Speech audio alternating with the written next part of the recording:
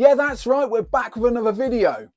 I just recently turned 50 years old, so I thought I'd do a 50 favourite tricks video. I started skating in my mid 40s and I've really enjoyed the process of working on and learning various tricks. And I thought I'd put together my favourite 50 that feel the best to me that I've spent the most time on pursuing. Now, some of these are going to be fairly beginnery and some are going to be more intermediate based. I don't reckon there's anything in there that's too hard because with my level of experience, there's no way I can go too crazy on the technicality. But nonetheless, I've really enjoyed trying to get the various tricks as good as I could get them. Now, I've included some trick names for reference, and depending on where in the world you come from, these trick names can vary quite dramatically. So take it with a pinch of salt. And also these tricks are in no particular order. If there's anything that catches your eye, then feel free to leave it in the comments below. And also feel free to have a thumb through the various folders on the channel because there's a good chance I've done a video that details my sort of process to learning that trick. Anyway, enough of my yakking, let's boogie.